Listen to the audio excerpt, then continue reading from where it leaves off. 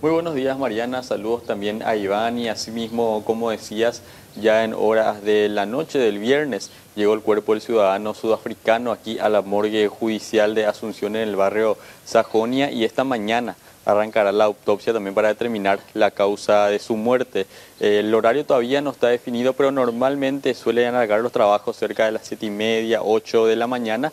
Y según nos refirió aquí una funcionaria que acaba de llegar, también estaría a cargo el proceso del doctor eh, Pablo Lemir. Así que esta mañana se estará realizando esta autopsia porque también como informaban ya ayer desde la zona del departamento de Guairá todavía no se pudo determinar ni a, simple vista cuál pudo haber sido la causa de muerte porque no presentaba ningún tipo de heridas visibles en el cuerpo de este ciudadano sudafricano que había desaparecido.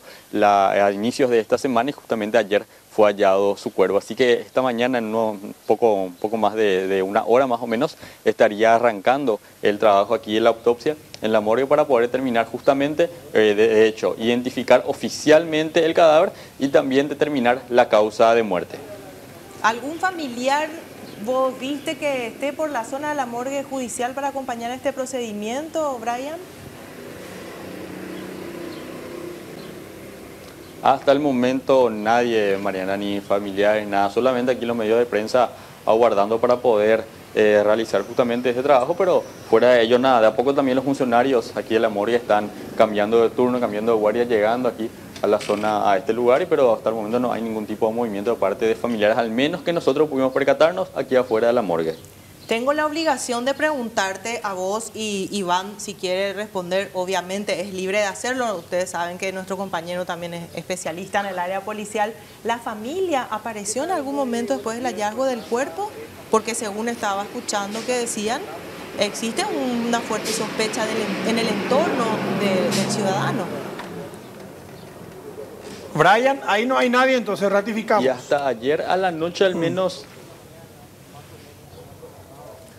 Así mismo, Iván, ratificamos que hasta el momento no hay nadie aquí afuera que nosotros pudimos percatarnos. Quizás estén adentro, pero no hay tampoco vehículos aquí en la zona. Como decía, más que nada, están en el estacionamiento, aquí están todos vehículos de prensa y vemos cómo iban saliendo también funcionarios, más que nada. Y también eh, respecto a lo que mencionaba Mariana, nada más, eh, Iván, también que hasta ayer al menos solamente el amigo que habría confirmado la identidad fue quien apareció hasta la zona para poder reconocer el cuerpo. Fuera de ello tampoco no había ningún tipo de información hasta el momento, al menos de si es que los familiares ya se habían acercado o no, pero aquí en Asunción no, no, no hay indicios todavía de que sus parientes estén aquí aguardando por la autopsia que se realizará esta mañana.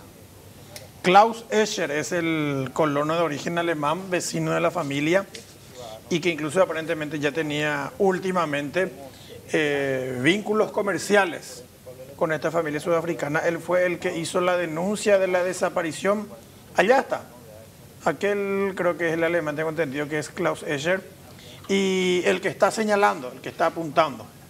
Y él fue el que anoche, el que ayer de tarde identificó el cuerpo por la ropa que tenía la víctima. Pero también en ese sentido tenemos que mencionar que el sudafricano Daniel Coetzee estaba eh, tirado del suelo boca arriba, solamente con su short y con su crocs o sea, no tenía puesta la remera, por ejemplo, cuando fue asesinado y abandonado. Eso presume algún tipo de tortura que pudo haber sufrido. Y extrañamente, desde que se conoció la información, muy pocas veces aparecieron la esposa y la hija del sudafricano. La hija del sudafricano, no, es la hija de la esposa del sudafricano.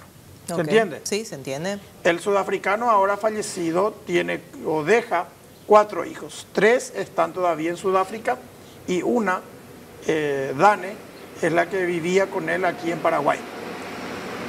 Pero aquí él se había vuelto a casar. Sí, los cuatro hijos son de un matrimonio anterior, de una señora que falleció. De hecho, él enviudó y vino a Paraguay hace 28 años con la actual esposa, la ahora viuda de vuelta. Y por ahí estaría la trama ya que supuestamente el sudafricano estaba en proceso de distribución de sus bienes. Él quería convertir en herederos a sus cuatro hijos y su esposa. O sea, todo iba a ser dividido cinco. A Pepa me le dice cuál es el problema, Mariana.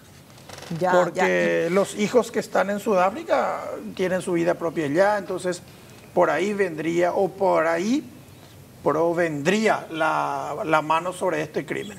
La trama. Y el cuerpo, eh, estimo yo por, por, los días que pasaron, eh, estimo que habrá, eh, se habrá encontrado en estado de, en estado de descomposición. él fue asesinado aparentemente esa misma noche de domingo, de acuerdo con, con el estado de descomposición del cuerpo. Eso quiere decir que, y eso es lo que refuerza la teoría de antisecuestro, que no fue un secuestro, porque le llevaron, Guau pidieron rescate imposible y además ya no se volvieron a comunicar, es decir, como van a pedir un rescate y después ya no van a volver a llamar.